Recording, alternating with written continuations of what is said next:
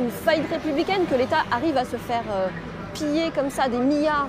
C'est une escroquerie en col blanc, oui, oui. C'est une escroquerie où il n'y a pas de violence, où il n'y a pas de sang. C'est une simple fraude à la TVA finalement, appliquée au quota carbone. Et bonjour, c'est Nicolas de Immobilier Compagnie, bienvenue dans ce deuxième épisode de l'affaire de la taxe au carbone. Tu vas voir qu'on va vraiment avancer pas à pas dans cette émission avec un melting point de reportages que j'ai sélectionné pour rentrer dans la technique de ce qui a bien pu se passer durant l'arnaque de la taxe.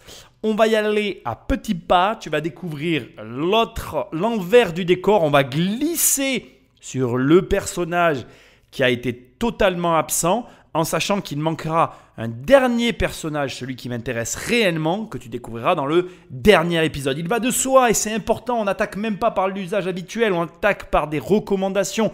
Je te conseille vraiment pour écouter ce podcast d'avoir écouté le podcast d'avant. Et aussi, je te le recommande si tu peux, d'avoir vu le reportage sur Netflix. Ça se complète parfaitement pour que tu puisses comprendre la suite. Parce que alors là, tu vas avoir non seulement eh bien, énormément euh, de révélations bon, bah, qu'on retrouve dans le reportage de Netflix, ça c'est sûr, mais on va s'intéresser à un personnage qui est complètement absent du reportage de Netflix. Mais avant, sans plus de transition, et comme d'habitude, je t'invite à laisser un commentaire et des étoiles là où tu écoutes cette émission parce que c'est ce qui m'aide le mieux. Sinon, tu prends le téléphone d'un ami et tu l'abonnes sauvagement à l'émission pour qu'il comprenne que c'est important dont on parle ici. Enfin, et comme d'habitude, tu vas sur immobiliercompagnie.com dans l'onglet formation. Il y a une formation, tu cliques, tu cliques et on travaille ensemble. il arrive parfois que la formation soit plus disponible, mais t'inquiète pas, elle va revenir. Hein. C'est que parce que je fais des changements ou que j'augmente les prix. Bon, voilà. Sinon, toujours sur immobiliercompagnie.com, dans l'onglet livre, bah, tu peux soit télécharger les 100 premières pages de mon livre, devenir riche sans argent, soit tu peux aller récupérer directement dans ta boîte aux lettres le livre papier avec tout un tas euh, de petits bonus, tu verras, c'est sympa. Allez, Patrick, on n'attend pas, on veut savoir. Action, mais on commence au départ parce que j'ai plein de choses à te dire avant qu'on arrive au fameux personnage. C'est ce qu'on a appelé l'escroquerie du siècle. Rien que ça. Une fraude express entre 2008 et 2009. À l'époque, les industries doivent payer un droit à polluer, la taxe carbone. Et ce droit, les sociétés l'achètent sur un marché financier. Sauf que des escrocs vont en profiter via des sociétés bidons à l'étranger. Ils vont acheter et revendre cette taxe carbone sans reverser la TVA au fisc français. En un an, 1,6 milliard d'euros évaporés. Une affaire qui inspire aujourd'hui le cinéma. Alors, euh, petite entrée en bouche, hein. bon tu t'en rappelles, fraude à la TVA, tout ce que je t'ai expliqué avant, nous, nous, nous revoici, nous revoilà. Petit détail important, donc bien évidemment, il y a euh, aujourd'hui, au moment où tu écoutes cette émission, il y a le reportage, le documentaire Les Rois de l'arnaque, où on a Marco Mouli que tu as vu dans le précédent podcast que tu peux voir, mais il y a aussi le film Carbone qui est le sujet de la vidéo que je suis en train de te mettre. Ici, ce que je vais faire, c'est vraiment une toute petite intro. Maintenant, je vais t'expliquer, je vais rentrer en détail dans l'explication de l'arnaque à la TVA, comment elle est structurée, comment ça fonctionne. Ensuite, on va revenir sur ce reportage pour ensuite retracer l'histoire avec ma version à moi de ce qui a pu se passer. Et puis on va s'intéresser à la personne. La personne qu'on ne voit pas dans euh, Les Rois de l'arnaque, dont on n'entend quasiment pas parler et qui mérite vraiment l'émission que je vais lui faire aujourd'hui. C'est quoi la fraude à la TVA sur les quotas carbone? Souvent, dans les médias, on entend parler de ça. C'est la fraude fiscale la plus importante jamais enregistrée en France en un temps aussi bref. L'escroquerie à la taxe carbone. L'arnaque du siècle, selon la Cour des comptes. Le préjudice, 1,6 milliard millions d'euros pour la France. Mais alors, c'est quoi cette affaire sur les quotas carbone? Pour le savoir, il faut d'abord comprendre ce que c'est que les quotas carbone. Pour faire simple, c'est un système construit pour limiter les émissions de gaz à effet de serre en Europe. Et du coup, chaque entreprise a un quota précis à respecter. Alors, on va donc attaquer l'explication. On va y aller par étapes. Je veux m'assurer que tu comprennes bien ces techniques. Attention, c'est vraiment pas simple. On entend effectivement ce mot générique, on comprend plus ou moins ce que ça implique, et pourtant, derrière quelque chose qui paraît facile, il y a vraiment des difficultés, des subtilités qu'il va falloir comprendre. D'abord, il faut comprendre que c'est un mécanisme qui se met en place sur des transactions intracommunautaires. Donc ça veut dire qu'en fait, la première étape que tu dois comprendre dans cette, dans cette première introduction pour que tu comprennes bien ce qui se passe, c'est que ça se passe en Europe. Ce qui veut dire que pour que l'arnaque, en quelque sorte, puisse fonctionner à plein régime, ça ne peut pas se passer dans le même pays. On s'en tient là, on avance doucement. C'est exprès que ce soit doux pour que tu comprennes. On est d'accord, hein? Ces quotas, c'est la Commission européenne qui les fixe chaque année pour chaque entreprise. Mais parfois, certaines de ces entreprises émettent moins de CO2 que prévu.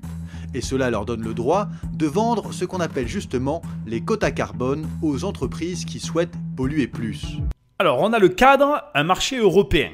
Européen, c'est important. On a maintenant un produit qui est inventé de toutes pièces, que je t'ai expliqué dans le premier épisode, qui sont en fait ce qu'on appellera des quotas, et ces quotas seront disponibles uniquement pour les entreprises qui n'utiliseront pas la pleine capacité qui leur est octroyée de relâcher dans l'oxygène, enfin dans l'air, le CO2.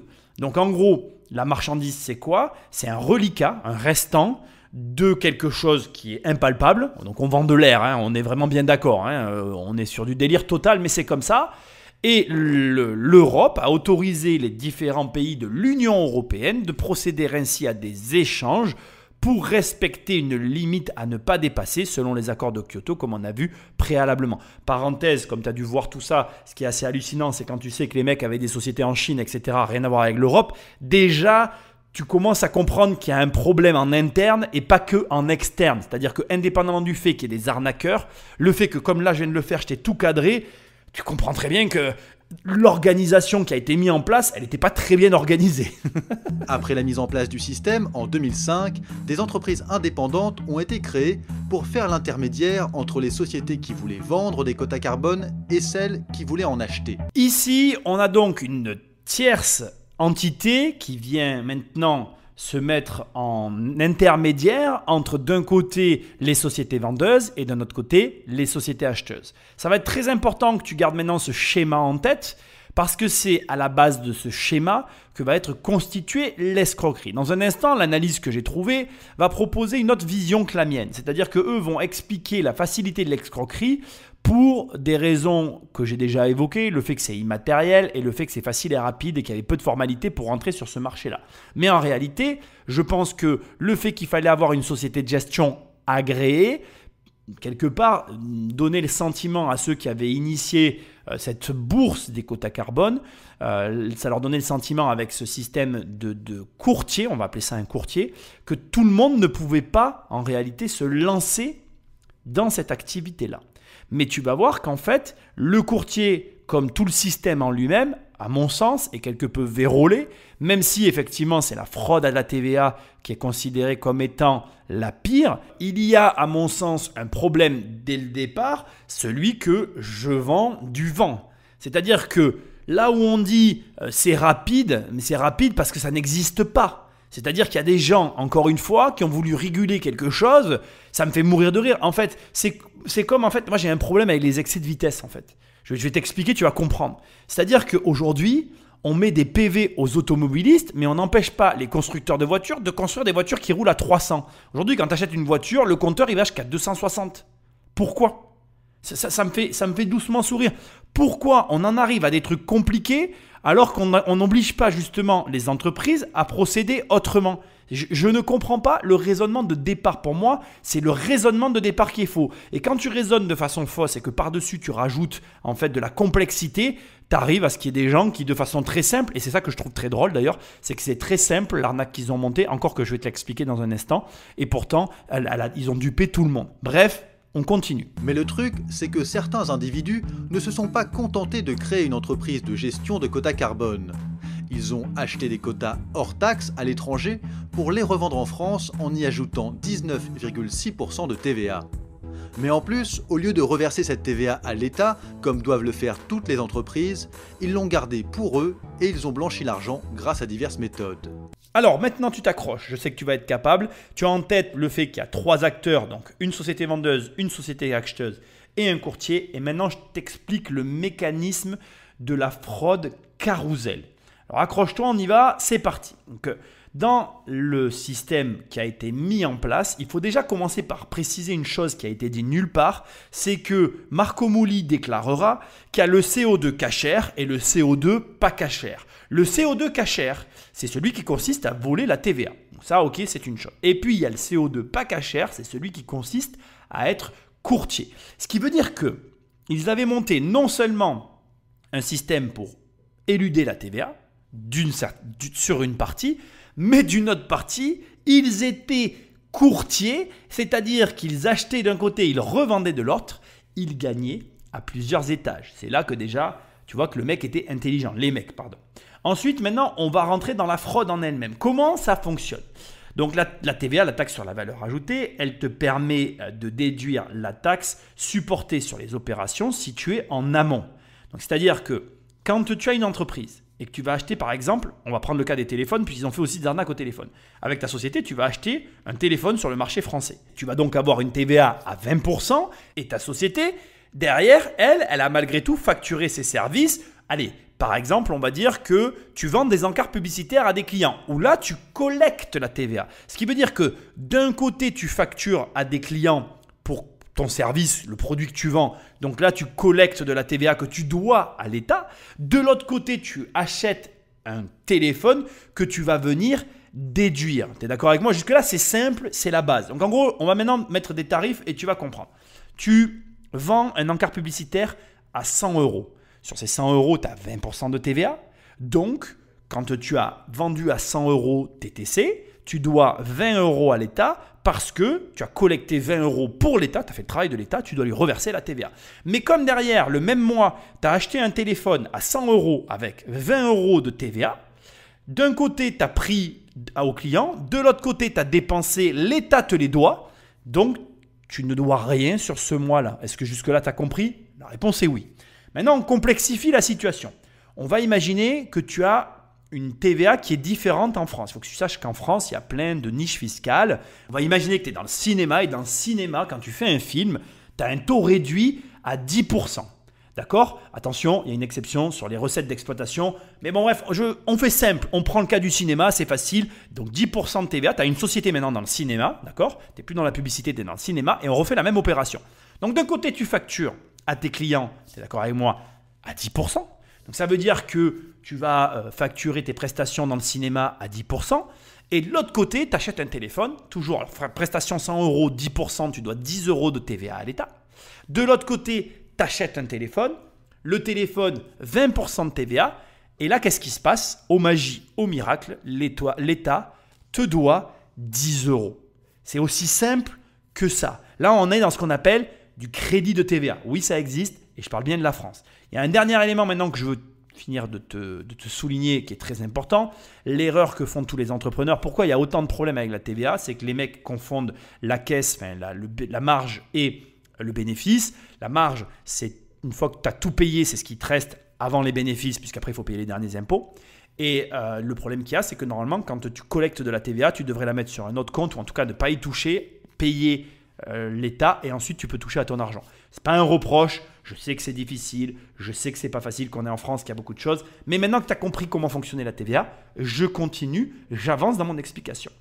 Donc, tu as compris qu'il y avait différentes TVA et donc tu comprends maintenant qu'à l'échelle européenne, ben, chaque pays peut avoir des TVA différentes et donc selon les pays où tu te trouves, eh bien, tu comprends que ça fonctionne pas complètement. Donc le montant de la TVA sur lequel s'impute la TVA déductible peut être suffisant ou insuffisant et en fonction, tu te retrouves soit en crédit de TVA, soit en TVA que tu vas devoir rembourser à l'État. On est d'accord? Maintenant, écoute bien, la fraude à la carousel, elle concerne, elle, s'articule comme ça. Il y a plusieurs entreprises qui sont dans la même chaîne commerciale. Ça veut dire qu'elles se succèdent. Ça veut dire que on est finalement dans des sociétés que tu pourrais dire elles correspondent à la chaîne commerciale. Ben tiens, par exemple, on va prendre dans le cinéma. Par exemple, imagine qu'il y a une société qui produit le film, donc la société qui va tourner le film, puis le film va être revendu ou enfin va faire partie de la même chaîne commerciale. Tu vas avoir un monteur qui va venir monter le film, puis après tu auras une, une dernière société qui va distribuer le film, qui va te permettre de le voir dans les salles, qui va être les cinémas. C'est la même chaîne commerciale. Donc tu as des sociétés de la même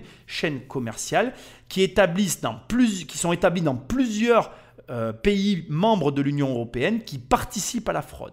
Et donc à partir de là, écoute, c'est parti. On a une société qui réalise une acquisition intracommunautaire et qui fait une livraison intracommunautaire. Le but est de constituer artificiellement des droits de déduction par l'intermédiaire de sociétés éphémères, qu'on va appeler des sociétés taxi, qui vont avoir pour rôle donc de créer la TVA. Et grâce au circuit qui est matérialisé par la chaîne de facturation, on va obtenir un remboursement de TVA qui va être afférent à la livraison du bien, alors que la TVA de départ n'a jamais été reversée. Et donc, au final, on a notre fraude dans les mains. Je vais essayer de te mettre un exemple maintenant euh, plus concret pour que tu arrives à comprendre de quoi il s'agit, parce que je peux comprendre que l'explication te paraisse vaseuse. Donc écoute, on part pour un exemple en espérant que tu comprennes. Donc on a une entreprise qui est située dans un pays membre de l'Europe, d'accord, mais qui n'est pas la France. Ça c'est vraiment important. Et qui vend ses marchandises à une société établie en France. À partir de là, tu as ce que j'ai appelé tout à l'heure une livraison intracommunautaire exonérée et qui va donner lieu à une auto-liquidation de la société en France. C'est comme ça, c'est de la technique, ne me pose pas de questions.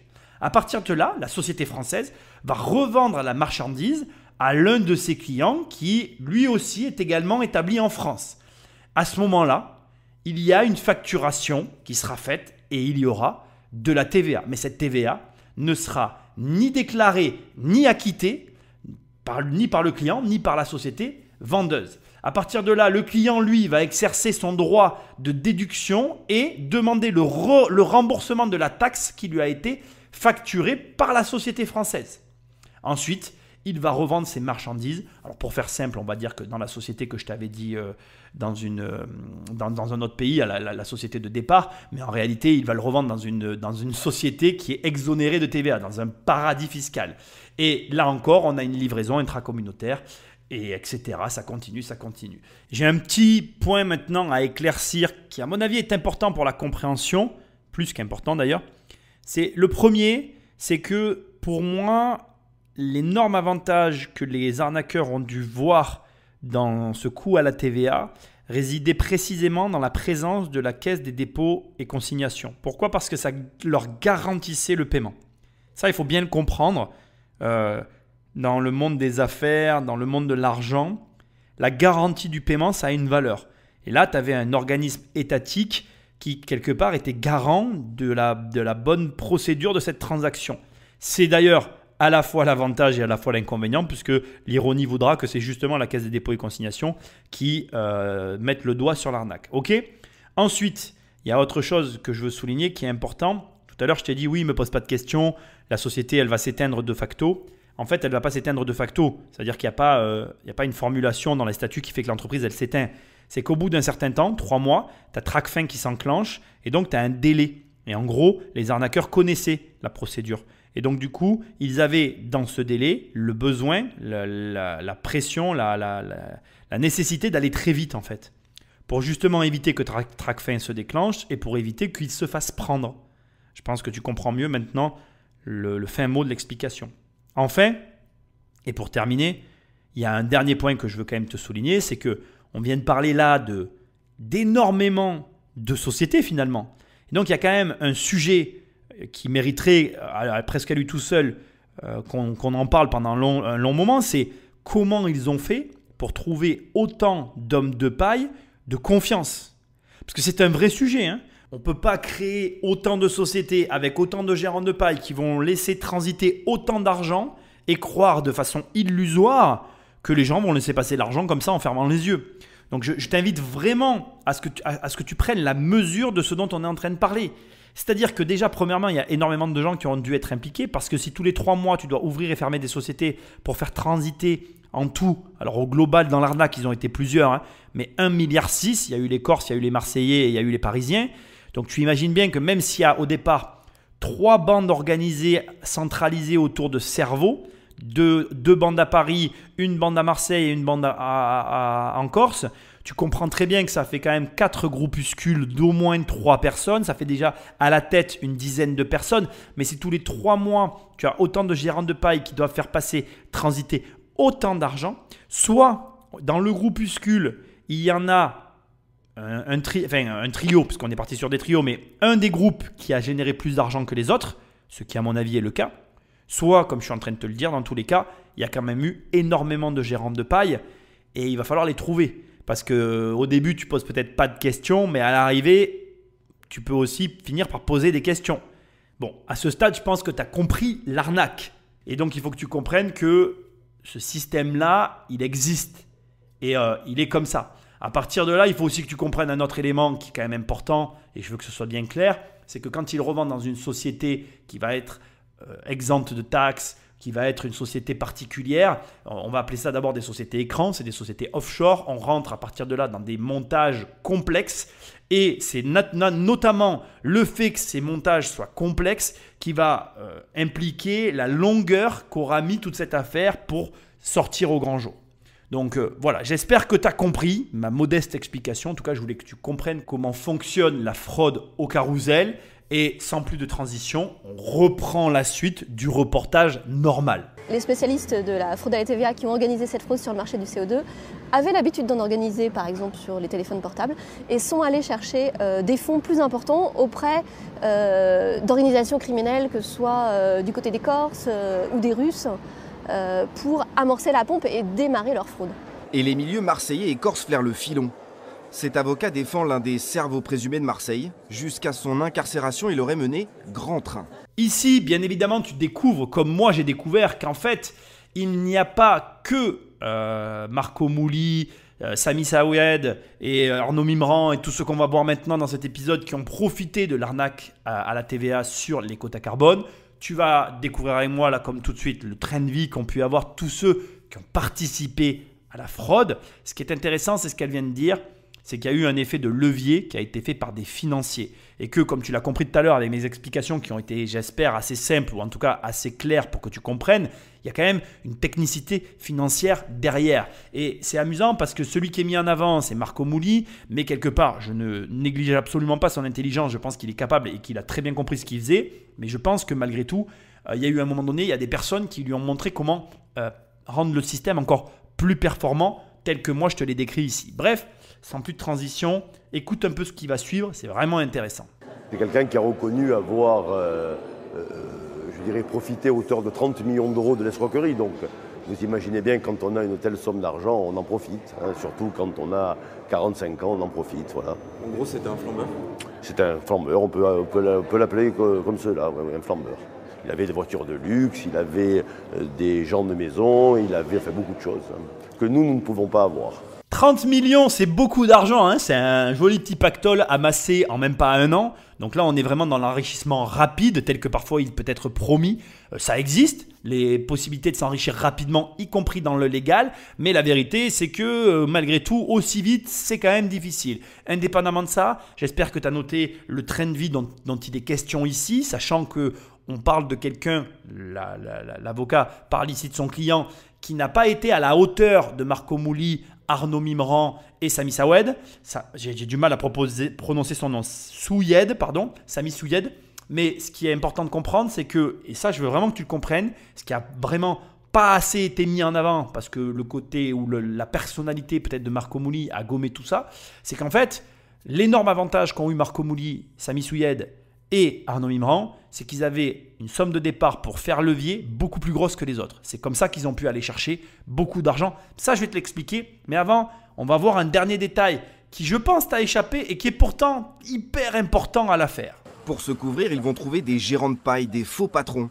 Cet avocat a défendu un habitant de l'Oise condamné. Sa société aurait détourné 40 millions au fisc. Lui n'aurait touché que quelques milliers d'euros pour prêter son nom. Il était le gérant, euh, alors on dit gérant de paille, mais en réalité il était gérant droit de la société, donc il a fait un certain nombre de démarches. Simplement, il ignorait que ces démarches pouvaient servir par la suite à euh, éluder de la TVA sur des quotas de carbone. Le but de ceux qui ont conçu cette fraude, c'est évidemment de- d'avoir recours à des gérants de paille pour euh, ne pas, eux, d'une part, être impliqués, et surtout pour pas que les gérants de paille comprennent ce qui se passe derrière. Et il faudra des années aux enquêteurs pour tracer l'argent, en France, à l'étranger, et réaliser quelques saisies spectaculaires, comme ce yacht. Mais la facture finale était déjà lourde lorsque l'État a pris la mesure de l'arnaque. Ici, on va s'arrêter sur le gérant de paille parce qu'on n'a vraiment pas l'occasion d'en parler.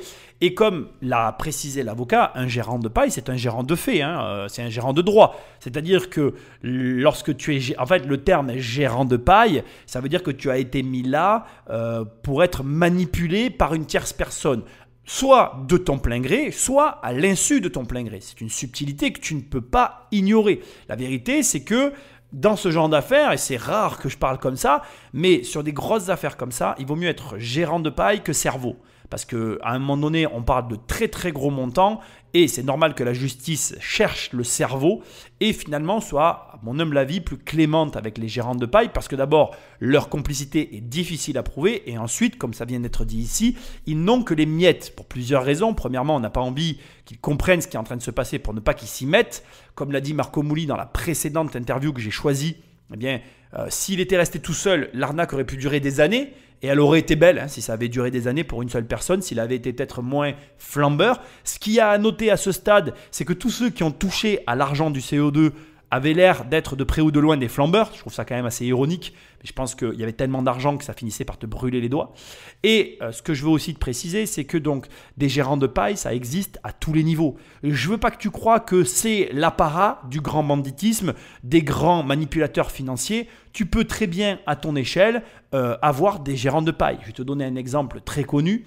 Ça existe notamment dans, malheureusement, et je suis assez affairé de devoir parler comme ça, mais dans tout ce qui est maçonnerie, euh, travail des mains, dans, ce que nous on côtoie au quotidien au niveau euh, de l'immobilier, ça existe parce que très souvent, ben, les maçons ont du mal à gérer leur société. Ils ont des problèmes notamment avec la TVA. Ils n'arrivent pas à la reverser parce qu'ils dépensent l'argent, parce qu'ils ont du mal. Mais ce n'est pas un reproche, encore une fois. Ils jonglent avec les encaissements.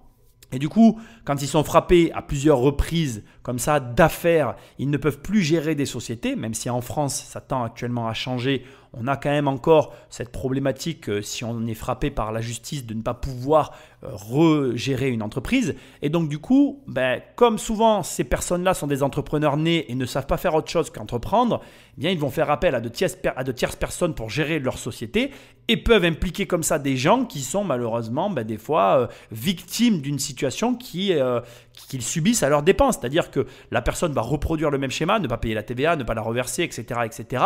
Et donc, du coup, conséquence, euh, le, gérant ben, se retrouve, euh, comment dire, euh, oui, accaparé, non, c'est pas le bon terme, se retrouve bombardé de lettres d'huissier et de problèmes judiciaires, bien tout simplement parce que la vraie personne qui gère l'entreprise ne fait pas ce qu'il faut ou ce qu'elle doit. Donc voilà, Très difficile comme situation, il faut que tu en prennes conscience. Quand je t'ai expliqué le mécanisme tout à l'heure, tu as très bien compris qu'il y avait des sociétés partout et que toutes ces, sociétés ne pouvaient pas être dirigées par la même personne. Et d'ailleurs, je vais même aller plus loin, toutes ces sociétés ne pouvaient être dirigées par le commanditaire parce que sinon on remontait à lui facilement. Donc, autant qu'il y a eu d'entreprises, autant qu'il y a eu de gérants de paille, ça commence à faire beaucoup de gens qui sont impliqués et des personnes qui touchent à chacun des étages de l'argent. Ça explique aussi pourquoi Marco Mouli disait il y a beaucoup de frais dans ce type de montage et c'est une réalité. Il y a eu des alertes de la part de la place de marché qui voyait bien qu'il y avait un problème du côté du ministère du Budget, qui était géré par Eric Wirth à l'époque.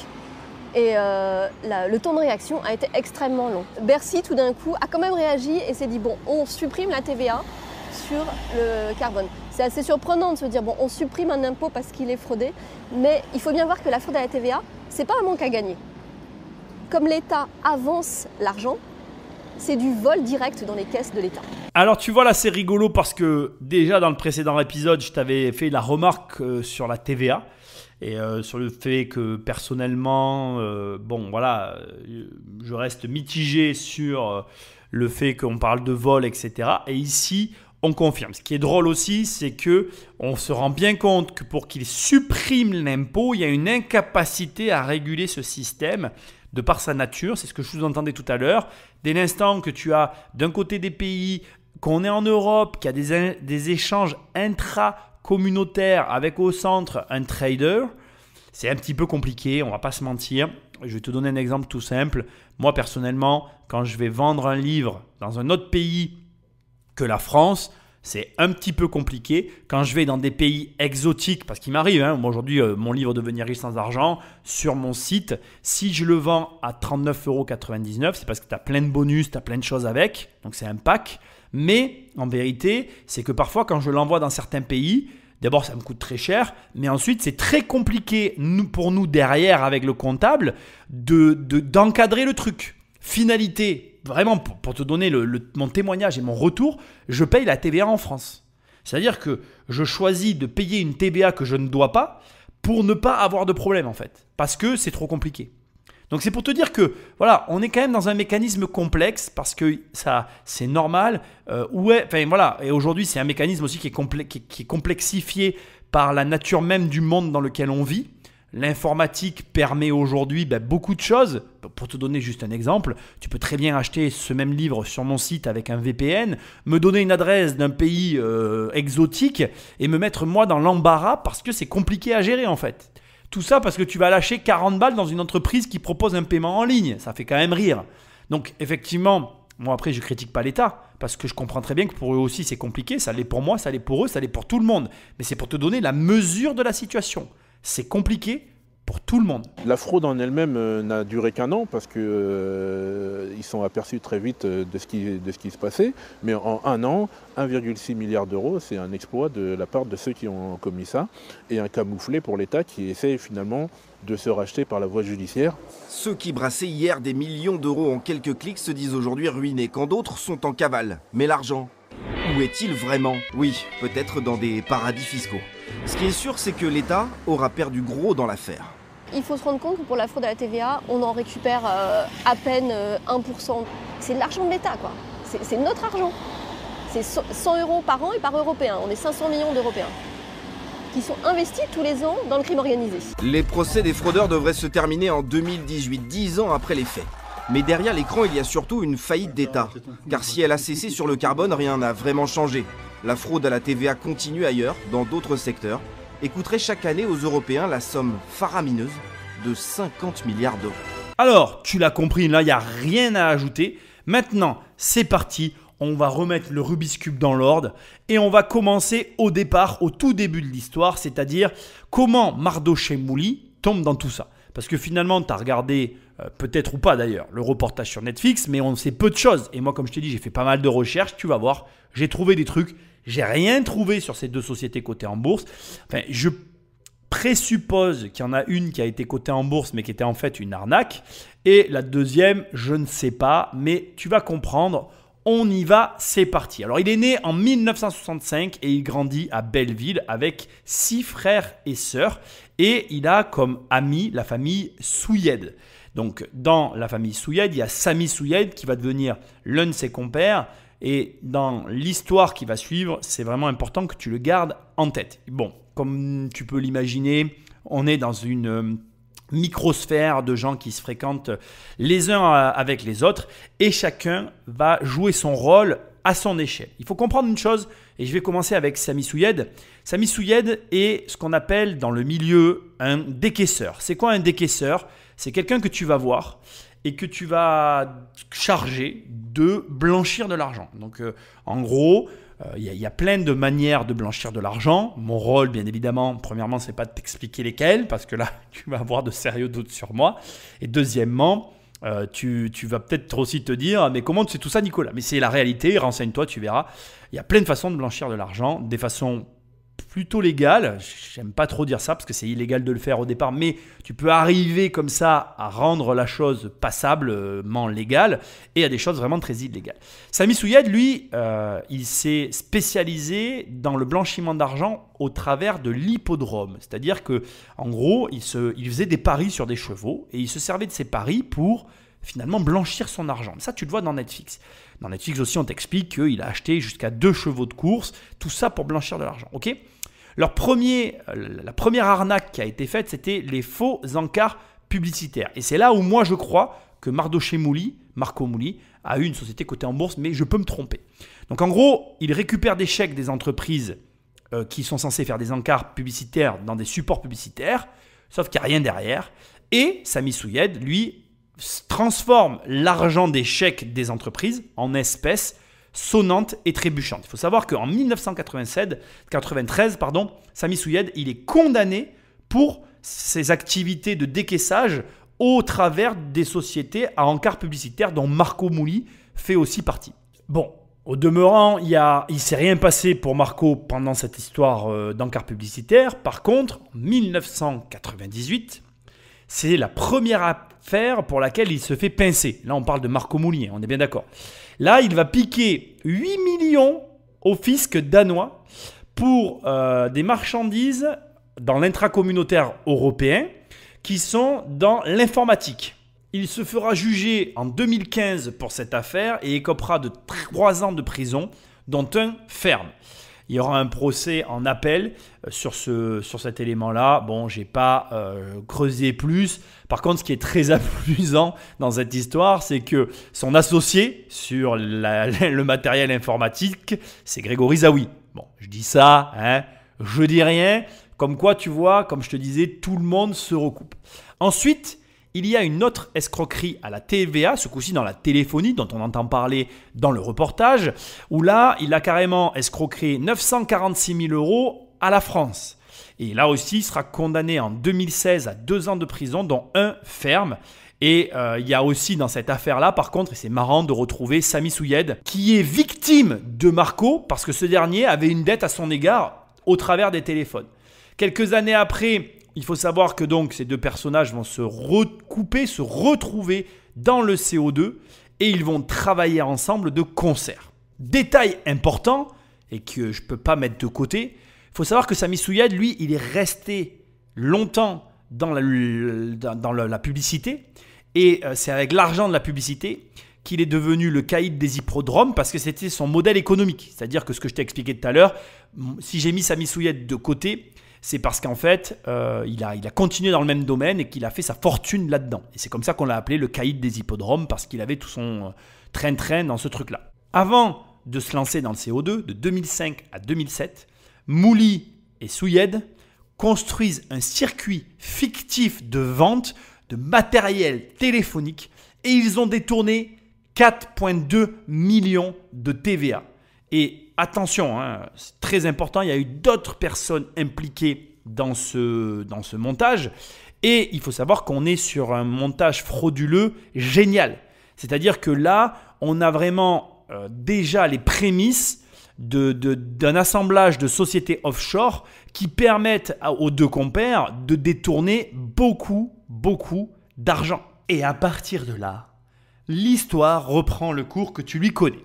Donc, on va maintenant cadrer ce qui nous intéresse le plus. D'un côté, on a Marco qui euh, va cesser cette activité-là et qui va se retrouver à la recherche d'une nouvelle activité et qui va entendre parler, comme tu l'as très bien compris, des affaires de Grégory Zawi. Comme il l'a dit, il va devoir racheter le restaurant de Grégory pour comprendre ce que fait Grégory Zawi, quelle est donc euh, son activité? Donc Grégory Zawi est le cerveau, pas parce qu'il est le cerveau, mais parce qu'il est l'initiateur de l'arnaque de la taxe au carbone. C'est-à-dire que c'est lui le premier, un, à découvrir que c'était facile de faire l'arnaque à la TVA sur ce marché-là, Blue Next. Deux, parce qu'il va être capable à la fois euh, d'arnaquer la TVA, à la fois, et ça c'est vraiment important, d'être trader. C'est-à-dire, il va avoir une société appelée Crépuscule, alors je suppose, je n'ai pas fait de recherche sur le sujet, mais je suppose, qui va lui permettre de trader sur les marchés Blue Next. D'accord? Euh, à partir de là, ce qui se passe est très simple. D'un côté, il faut comprendre que à ce stade de l'histoire, la bulle est éclatée. On a d'un côté Marco Mouli qui est de son côté, on a Grégory Zawi de l'autre côté qui ne partage pas, mais qui a quand même besoin que d'autres personnes rentrent dans le game pour faire monter la sauce. Et de l'autre côté, on a Sami Souyed qui lui a la logistique de son côté, parce qu'il faut bien comprendre que Sami Souyed était le détenteur de la logistique pour euh, le fonctionnement des montages. Et ça, je veux que tu le comprennes à ce stade. Il y a donc ici des, hum, comment je vais dire, euh, des compétences qui sont réparties. Et la compétence essentielle dans ce type de, situation, c'est la logistique, c'est euh, ben, indépendamment de comment j'arrive à faire les sociétés offshore, comment j'arrive à décaisser l'argent une fois qu'il a été euh, détourné. D'accord? Ce que Samy, lui, possède. Je te le rappelle. Donc, Marco est de son côté, Samy est du sien, Grégory est du sien. Grégory vit sa vie, il s'en va de son côté. De l'autre côté, il se passe une chose très simple, c'est que Samy Souyed, lui, commence à euh, travailler sur le CO2 de, de, son côté à lui, indépendamment de Marco, sauf que ça ne fonctionne pas. Ça ne va pas assez vite, ça ne marche pas, il n'est pas bien entouré. De l'autre côté, Marco, comme tu l'as compris, va euh, avoir sous sa coupe le, le trader de Consus, qui sera sa clé de voûte dans la négociation avec Sami Souyed. À partir de là, qu'est-ce qui se passe? D'un côté, on a Sami Souyed qui connaît la combine, mais qui ne peut pas en être parce qu'il n'est pas euh, entouré des bonnes personnes pour pouvoir en être. De l'autre côté, on a Marco Mouli qui a Claputi et qui a encore un joker dans sa manche, on va en parler dans une seconde. Et donc, qu'est-ce qui se passe? Marco Mouli va trouver Sami Souyed, puisqu'il le connaît, et va lui proposer de s'associer, parce qu'il a le trader. Mais il n'a pas que ça. Il a aussi l'entrée en matière du fameux personnage que je ne comprends pas pourquoi il n'a pas été autant décortiqué, Arnaud Mimran. On va parler de Arnaud Mimran à partir de là. C'est un personnage fascinant. Et Arnaud Mimran, c'est à mon avis le point d'orgue qui va faire basculer Sami Souyed pour revenir avec Marco Moli. Il faut savoir que Sami Souyed, à ce stade-là, il ne veut pas retravailler avec, avec Marco Moli pour plusieurs raisons. Premièrement, parce qu'il y a eu les antécédents qu'ils ont eus. Et deuxièmement, parce que c'est un flambeur. Alors ça, c'est moi qui le dis, je ne le sais pas. Mais, comme le dit Marco Moli, c'est aussi ce qu'il aime chez euh, Mardoché, en fait, on va l'appeler comme ça. C'est-à-dire que Sami Souyed, comme il n'est pas un flambeur, il aime bien le côté flambeur de Marco. Et finalement, c'est peut-être ce qu'il a fait retomber. Mais à mon avis, ce qu'il fait aller avec Marco, c'est le trader que Marco possède et Arnaud Mimran. Arnaud Mimran qui propose de mettre 8 ou 10 millions d'euros sur la table comme effet de levier. Parce qu'il y a une chose dont il n'a jamais été question dans cette histoire, c'est que si Grégory Zawi avait de l'argent d'un restaurant, qu'il a pu détourner momentanément pour quelques clics, c'est-à-dire que, je vais te le dire clairement, euh, il est tout à fait possible que Grégory Zawi ait pris 30 000 euros et transformé ces 30 000 euros en un coup, rapidement comme ça, sur une journée, en 36 000 euros pour voir que ça marche, c'est-à-dire qu'il prend 30 000 euros de son restaurant, il dégage 6 000 euros de fraude à la TVA, il se dit waouh, ça marche, et à partir de là, il prend un gros chiffre de son restaurant qui détourne, il s'en sert de levier, et comme ça, il fait monter la mayonnaise. Sauf que Marco Mouli et Sami Souyed, ils n'ont pas cet argent. Ils n'ont pas des montants démesurés pour aller chercher le gros pognon. Ce que Arnaud Mimran, lui, va amener. Et c'est là que la trilogie, les trois personnages centrales de l'histoire, se mettent en marche pour aller chercher le gros magot, celui dont on parle depuis le départ. Donc il faut bien comprendre tout ce que je viens de te décrire pour comprendre comment commence l'arnaque au CO2 et d'où vient l'argent. Et c'est Arnaud Mimran, le personnage qui finalement a l'argent, qui est au cœur de tout ça. Et ce qui va être étrange avec Arnaud Mimran, c'est que toutes les personnes qui vont graviter autour, et attention, je ne l'accuse pas, on n'a aucune preuve, mais vont mourir.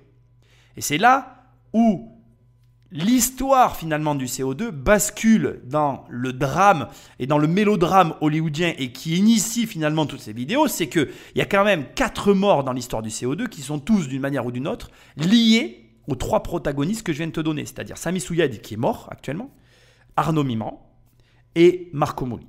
Sachant que, comme tu le vois dans le reportage, il y a d'autres personnes qui ont eu des tentatives d'assassinat.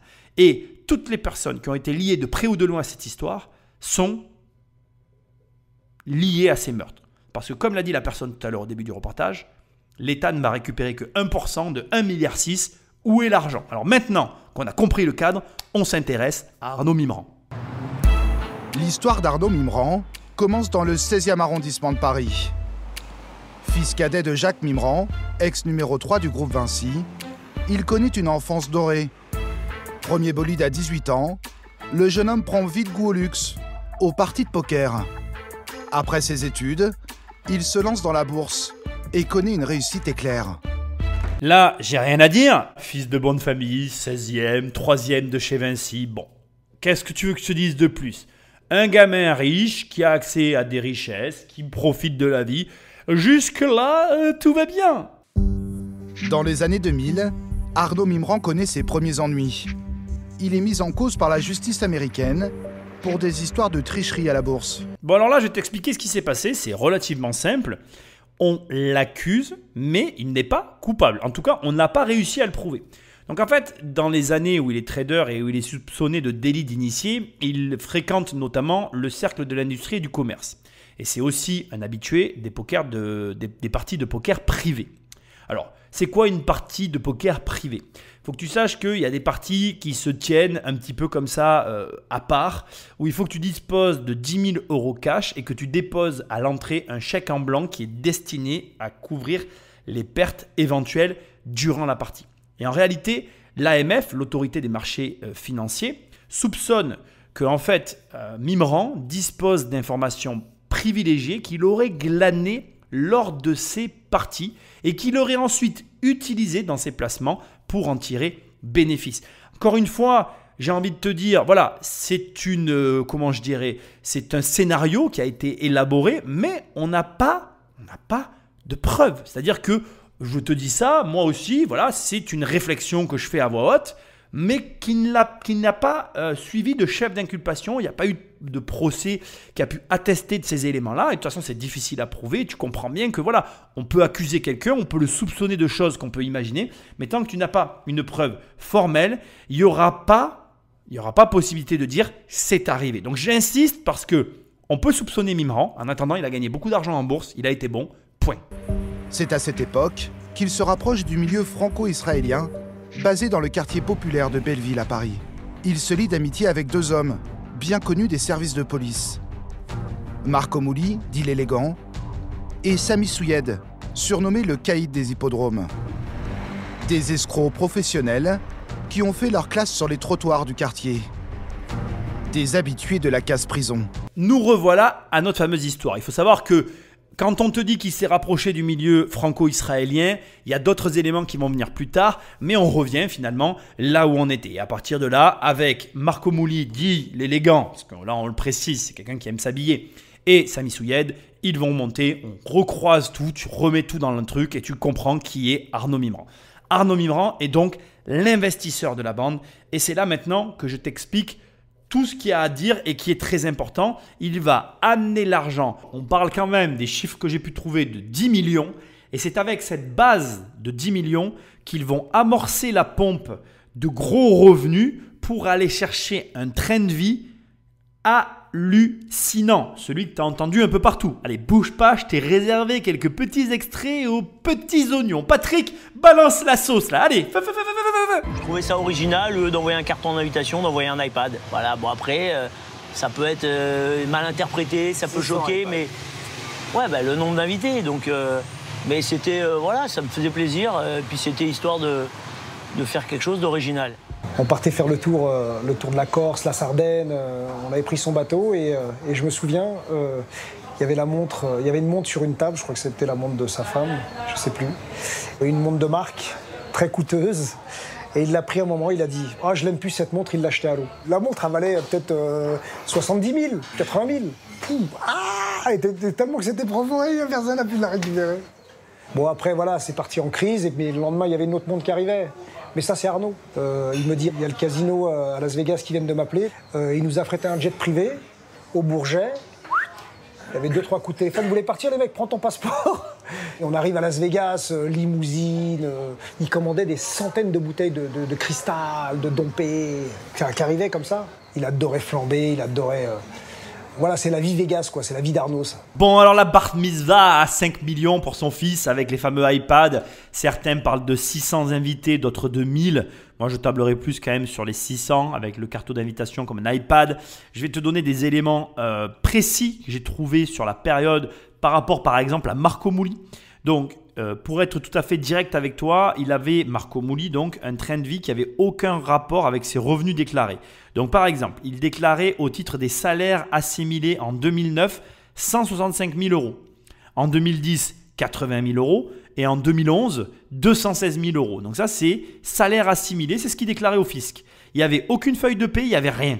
C'était juste des salaires euh, assimilés. Mais en parallèle, il dépensait 4 millions dans un appartement sur l'avenue Georges Mandel dans le 16e arrondissement, mais il cachait cet achat derrière un contrat de location d'une SCI détenu par un prête-nom. C'est-à-dire que, en gros, l'arnaque, alors c'est une arnaque immobilière euh, classique, on prend un prête-nom qui constitue une SCI, on amène l'argent sale à l'intérieur, il achète cash l'appartement, Et Marco Mouli loue à la SCI euh, l'appartement acheté cash et le prête non. Après, soit il perçoit les loyers. Enfin bref, il y a une entente euh, qui se passe comme ça.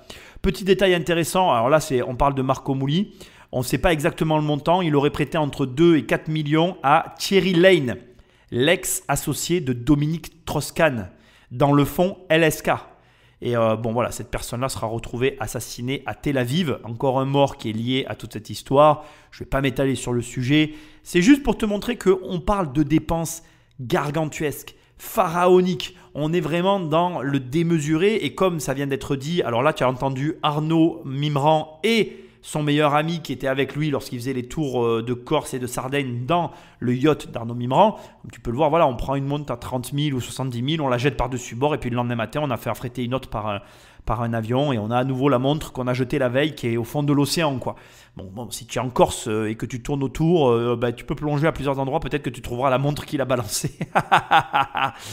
en tout cas, pour vivre comme ça, pour avoir ce train de vie là, il y a un sacré paquet d'oseille qui a dû être piqué. Sauf qu'il y a un petit détail qui va coincer et qui va poser problème. Et c'est là où c'est une théorie que je soutiens et que je trouve très cohérente, mais où je peux avoir tort. Écoute ce que je vais te dire maintenant. Arnaud Mimran euh, a le sentiment que contrairement notamment à Sami Souyed, il n'a pas touché assez dans le CO2. Alors là, tu dois te poser des questions. Tu vas dire, mais pourquoi Arnaud Mimran n'a pas touché assez? Alors rappelle-toi maintenant cette histoire de Las Vegas. Euh, notamment, à l'époque, vous avez accumulé des millions d'euros. Vous avez vécu comme des milliardaires. Moi, il y a un extrait, c'est euh, quand vous allez à Las Vegas, il y a l'avion euh, du Mirage, qui est un c'est le plus grand hôtel, voilà, c'est un des meilleurs hôtels voilà, de, de, Las Vegas à l'époque, hein, qui vient vous chercher et vous envoie leur jet privé pour venir. Exactement, pour venir à Las Vegas jouer. Et on va voir la somme que vous avez perdue. il paraît que vous étiez. En fait, c'est important même de perdre des sommes folles. Ouais on parle de 3 millions d'euros. Alors, en réalité, on parle de 2 à 3 millions d'euros, on ne sait pas exactement. Pendant le reportage de TPMP, Marco Mouli dit qu'on lui a prêté de l'argent et qu'en fait, ce n'était pas leur argent. En fait, il s'est passé un truc à Las Vegas. Et il s'est passé un truc, c'est que, en gros, Arnaud Mimran, donc, a été le principal investisseur qui a permis de monter la mayonnaise. Et il se passe que quand ils vont à Las Vegas, l'une des théories que j'ai trouvées, que je trouve cohérente, c'est que Arnaud Mimran se serait euh, rendu compte qu'en fait, Sami Souyed a perdu 2 à 3 millions d'euros. Sauf que, vraisemblablement, ça n'est pas possible au vu de la situation dans laquelle étaient Sami Souyed et Marco Mouli quand Arnaud Mimran les a rejoints, que Sami Souyed, à ce moment-là, puisse perdre 2 à 3 millions d'euros. Sauf si, sauf si, Sami Souyed et Marco Mouli n'ont pas gagné ce qu'ils ont dit à Arnaud Mimran. Donc voilà un petit peu les chiffres que j'ai trouvés. Attention, hein, on ne saura jamais. Je suis personne. J'insiste, ce que je peux dire est faux. Mais cette théorie-là, je la trouve très intéressante parce qu'elle donne du sens à tout ça. En gros, Arnaud Mimran a mis 10 millions d'euros. Et au bout d'un certain temps, on rend à Arnaud Mimran 10 millions d'euros. Donc ce qui veut dire qu'en gros, Arnaud Mimran a fait du 100% en quelques mois. Ce qui est exceptionnel, ce qui est génialissime. La plupart des gens t'auraient dit waouh, génial et voilà, parfait.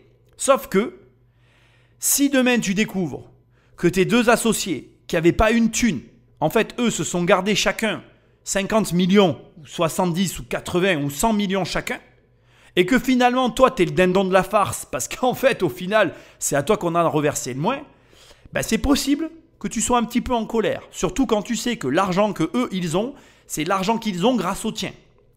Et c'est à partir de là que ce serait amorcé, quelque part, le début des problèmes.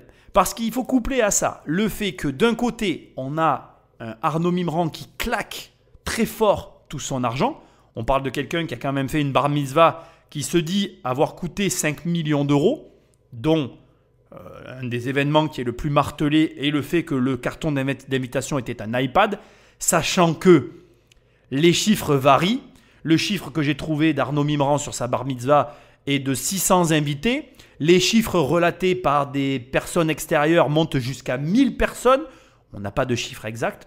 Ce qui est de toute façon corroboré dans tous les cas, c'est que dans toutes les bar mitzvahs de Marco Mouli, euh, comment il s'appelle, euh, Sami ou, euh, ou comment il s'appelle, ou Arnaud Mimran, il y avait quand même beaucoup de monde et beaucoup d'argent dépensé. Dans tous les cas, il y a une chose que tu dois savoir, c'est que il y avait donc trois associés. et que sur ces trois associés, il y avait un élément encore plus accablant pour tout ça, c'est que Arnaud Mimran et Marco Mouli étaient des dépensiers, mais Samy Souyed était un économe radin, renfermé et discret. Ce qui veut dire que sur le train de vie des deux autres, en quelques temps, et c'est facile de le comprendre, si les deux premiers avaient tout claqué, le troisième avait encore tout l'argent et qui plus est, en avait déjà replacé une partie de façon intelligente, maison, etc. Ce qui veut dire que quand tu as deux paniers percés qui dépensent comme des cochons sur des montants hallucinants, parce que ce sont ces deux-là hein, qui essaient de dépenser 100 000 euros par jour, 200 000 euros par jour, et que tu en as un autre qui garde tout l'argent, tu comprends très bien qu'au bout d'un moment, il y a, comme qui dirait, ben, les dépensiers qui vont se retourner vers l'économe pour lui dire Tu peux pas un peu m'enfiler là? Parce qu'il faudrait que je me refasse. Samy, Marco, Arnaud, c'est les rois du pétrole qui vont euh, sur la côte. Arnaud Mimran a, une très très belle villa à Saint-Tropez. Il a les bateaux, en deux secondes, il réserve le plus, le plus bateau. Il en a mis plein la tête à mon frère Samy. Il lui a montré mon émerveil. Il lui a montré les plus belles choses qu'il y avait sur ce monde, ce matériel, il a appuyé sur la sensibilité de mon frère. Ça veut dire que demain, si tu rends officiel ton argent, et par des combines, eh ben, euh, tu vas devenir comme moi. Euh, Mimran promet à, à Souyed de euh, lui prendre une grande partie de son argent, de l'investir en bourse. Alors on parle de 40, 50, 60 millions d'euros, avec un retour sur investissement important. Et en plus, ça va permettre de blanchir l'argent du CO2. Bon, ben là, tu vois où je t'emmène. Tu as sûrement peut-être vu le reportage, mais ben, c'est logique. En fait, on a une personne qui est initiée au montage financier, à la bourse, au placement, qui propose à l'un de ses associés, du coup, d'optimiser avec une pointe de rancœur par rapport à ce qu'il croit être, par rapport à, lui, une arnaque, puisqu'Arnaud Mimra, à ce moment-là, se dit peut-être éventuellement, ben, ils ont gagné plus d'argent que moi, j'ai besoin d'encore plus d'argent. Et à ce compte-là, il va réussir à obtenir l'argent de Sami Souyed. Alors, tu vas peut-être ici te poser une question à laquelle je dois répondre. Je t'ai expliqué que Sami Souyed était décaisseur et que donc, vraisemblablement, entre le fait qu'il avait la logistique pour assumer les transactions, les virements de compte à compte, etc., il semble aussi, en toute logique, qu'il ait la connaissance pour blanchir de l'argent, puisque son, j'ai envie de dire, processus était d'aller à l'hippodrome, même d'acheter des chevaux, et grâce au système des jeux et finalement à l'opacité, d'arriver à rendre de l'argent sale propre. Et naturellement, bien que je vienne t'expliquer euh, la proposition d'Arnaud Mimran, une question doit planer dans ton esprit. Mais pourquoi un mec qui est décaisseur connu dans le milieu confie son argent à Arnaud Mimran et pourquoi il ne l'a pas blanchi lui-même? Quel est l'intérêt finalement de Sami Souyed à avoir accepté euh, ce deal, cette transaction? Alors c'est très simple, et euh, je dois quand même te le préciser pour que tu comprennes la suite de l'histoire. Il faut que tu intègres qu'on ne blanchit pas 10, 20, 100, 500, 1 million d'euros de la même façon qu'on blanchit 500, 1 million, 20 millions, 300 millions, 500 millions d'euros on parle de montants colossaux. On ne connaît pas les montants exacts de toute cette histoire. On sait qu'il y a eu euh, une énorme euh, arnaque autour du CO2, mais on ne sait pas du tout aujourd'hui ni où est l'argent, ni l'argent qu'avaient réellement ces individus. Et donc, il faut que tu comprennes que comment tu peux arriver à blanchir même que 40, 50 ou 60 millions. Tu vas pas euh, cet argent sur un cheval. C'est pas vrai. Ça n'est pas vrai. Donc Sami Souyed accepte le deal d'Arnaud Mimran pour deux raisons. La première, sûrement et vraisemblablement pour des intérêts intéressants et ou des intérêts financiers que nous ne connaissons pas. Et la seconde, qui est à mon avis la raison principale, le blanchiment d'une somme importante d'argent. Samy, il est parti à Paris.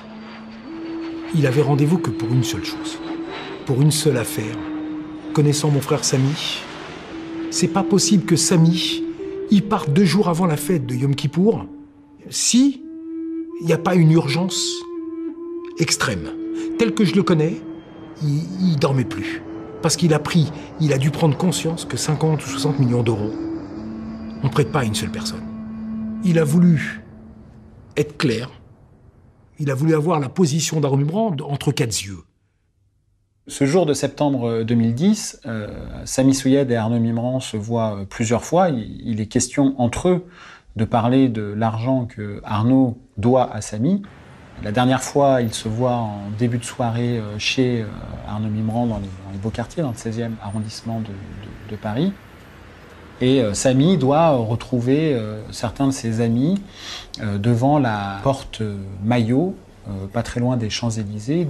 Arnaud Mimran se rappelle qu'il doit rendre une bague à Samy Souyed, une bague qui appartiendrait à la femme de Samy Souyed, Arnaud ayant eu la charge de en modifier la taille pour qu'elle aille au doigt de Madame Souyed. Et euh, il dit à Samy, euh, voilà, j'ai complètement oublié, il faut que je te rende la bague de, de, ton épouse. Ce qui se passe, Arnaud arrive sur place, tend la bague à Samy Souyed. Au moment où il tend la bague, un commando en scooter s'arrête, tire plusieurs balles sur Samy Souyed qui meurt sur place, se couche sur la chaussée devant les voitures. La bague tombe, roule. Et c'est là où on a quasiment une dimension euh, hollywoodienne. La bague, c'est une tête de mort en diamant. Mais qu'est-ce qui est étrange d'abord C'est que Miro Naoum, il n'a pas été touché. Euh, il y a son garde du corps, Enudaon, qui n'a pas été touché. Ici, j'ai un élément à donner qui, que j'ai trouvé qu'un journaliste de l'Obs a révélé. Euh, il a eu accès à une déposition sous X d'un témoin qui explique qu'après la mort de Samit Souyed, le train de vie de Arnaud Mimran aurait augmenté. Achat de plusieurs voitures, de montres de luxe, folle partie de jeu à Las Vegas. Alors, euh, il va dans des prestigieuses Bobby's Room de Bellagio où en fait on peut euh, ne rentrer que si la mise de départ est équivalente à 500 000 dollars minimum. Et euh, il y a donc une rumeur qui dit aussi qu'il aurait laissé plusieurs ardoises de plusieurs millions dans des casinos là-bas, et que de toute façon, Mimran était incapable de rembourser euh, ni Souyed, ni euh, qui que ce soit, et que c'est pour ça qu'il l'aurait fait assassiner. Attention, attention, ce ne sont que des théories, je tiens juste à te préciser ce que j'ai trouvé, mais il faut savoir qu'à partir de là, il va se passer une chose très étrange, c'est que autour de Mimran, tout le monde va subir soit des tentatives d'assassinat, soit va être carrément assassiné, il va y avoir quatre morts, et ça va générer une, euh, comment je dirais, une, euh, une espèce de folie autour du magot euh, de la taxe au CO2, parce que premièrement, ben, l'argent n'a jamais été complètement récupéré. Et deuxièmement, il y a cette vague de meurtres qui peuvent être assimilés soit à des règlements de compte, soit à différents, euh, à différentes, euh, à différents mobiles que je ne connais peut-être pas, mais qui sont tous de près ou de loin et de façon très bizarre euh, dans le sillage de Arnaud Mimran. Et maintenant, ce qu'on va faire, c'est qu'il est temps que tu évalues, ou plutôt que tu apprécies, le nombre de morts qui entourent le personnage de Arnaud, Patrick Magneto. Arnaud Mimran, 44 ans. Un ancien Golden Boy, fils de bonne famille. Présenté comme l'un des participants de l'arnaque à la taxe carbone, son nom revient dans trois affaires de meurtre non résolues, mais qui pourraient être liées de près ou de loin à cette escroquerie.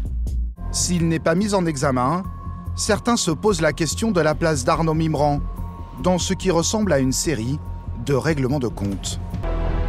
À ce jour, Arnaud Mimran est mis en examen dans une autre affaire, la séquestration d'un banquier suisse en septembre 2015.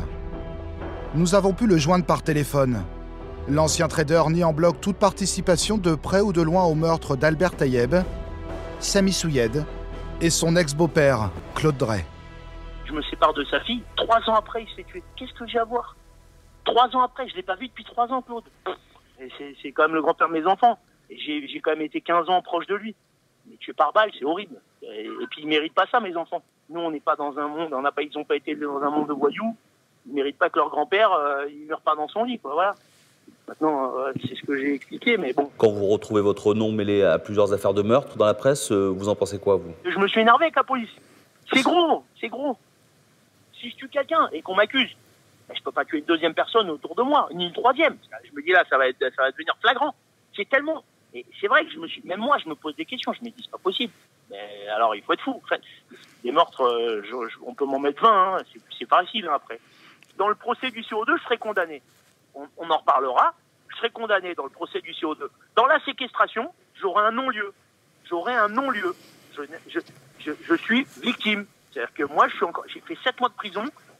Je suis une victime dans cette affaire. Et on en reparlera. Bon, je vais pas rentrer dans les détails de toutes les affaires. En réalité, il est lié à quatre affaires de meurtre et non à trois. Il faut quand même bien l'entendre. hein. Euh, Donc bon, tu sais, dans l'armée, il y a une phrase, euh, je l'ai pas cherché là pour le coup, j'ai pas fait de recherche, mais quand il y a une chose qui arrive une fois, bon, ça peut être le hasard. Quand ça arrive deux fois, c'est bizarre. Quand ça arrive trois fois, en général, c'est qu'il n'y a pas de doute, quoi. Tu vois, c'est que ça peut pas être dû au hasard. Donc, on peut pas nier le fait que euh, effectivement, euh, que autour d'une même personne, il y ait quatre personnes qui meurent, c'est très très très bizarre. Bon après, le paradoxe, et je dois aussi le reconnaître, c'est que imagine effectivement, pour le coup, il n'est pas coupable et qu'il n'est réellement innocent. Bon, franchement, euh, c'est certain que je me mets aussi à sa place et que ça doit être très déroutant quand tu le subis. Donc, je n'émettrai aucun jugement là-dessus. Pour l'affaire concernant la séquestration de l'homme d'affaires suisse, du banquier suisse, il y a eu, j'ai trouvé plusieurs informations, dont une où on sous-entend qu'en fait, il fait- en fait, ce qui s'est passé, c'est que le banquier suisse a été enlevé et qu'en fait, Arnaud Mimran était lui aussi séquestré.